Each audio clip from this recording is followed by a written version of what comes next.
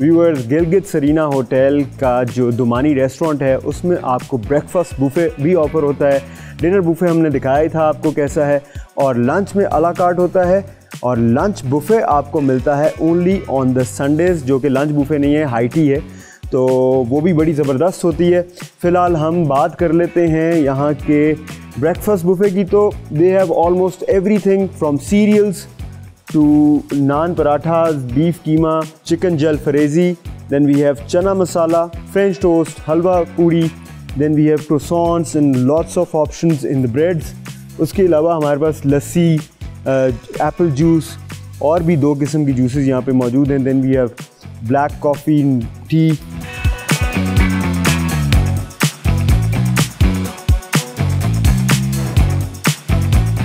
Gilgit Serena hotel की ख़ास बात यह है कि यहाँ पर आपको नॉट ओनली इंटरनेशनल फूड्स बल्कि आपको यहाँ के लोकल फ़ूड जो हैं, वो भी एक्सपीरियंस करने को मिलेंगे टेस्ट करने को मिलेंगे। जैसे कि फीटी ब्रेड है, यहाँ पे अर्जूक है देन हनी बाय कारीगर, जो हमने पहले भी जिसका ज़िक्र किया था। Then we have local cereals as well तो ज़बरदस्त किस्म का यहाँ पर आपको मेन्यू मिलेगा।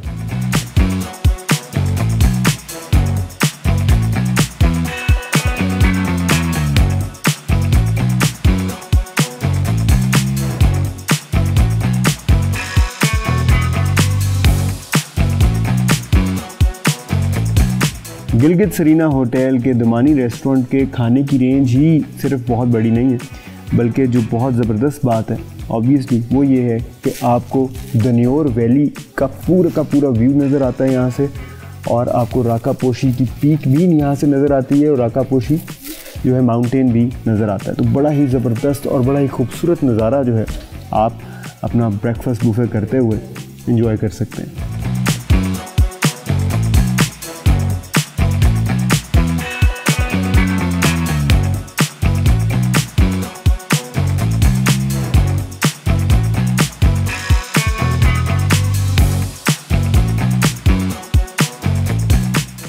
So viewers now I am trying ग्यालिंग ये भी यहाँ का एक लोकल आइटम है. इट इज़ वेरी लाइट और uh, एक चीज़ जो मैंने एक्सपीरियंस uh, की इस पूरे अपने ट्रिप में जो मेरा गिलगित का ट्रिप था कि जो यहाँ के लोकल फूड्स हैं ना वो बहुत मज़ेदार हैं. अगर आप गिलगित आते हैं तो आपको सिर्फ़ यहाँ की खूबसूरती देखने को एक्सपीरियंस करने को नहीं मिलेगी बल्कि आपको यहाँ के खाने जो है ना वो भी बहुत डिफरेंट लगेंगे और बहुत ही रिच कल्चर आपको not only in the lands मिलेगा, बल्कि इन द फूड्स भी मिलेगा इन द क्यूजीन्स भी मिलेगा।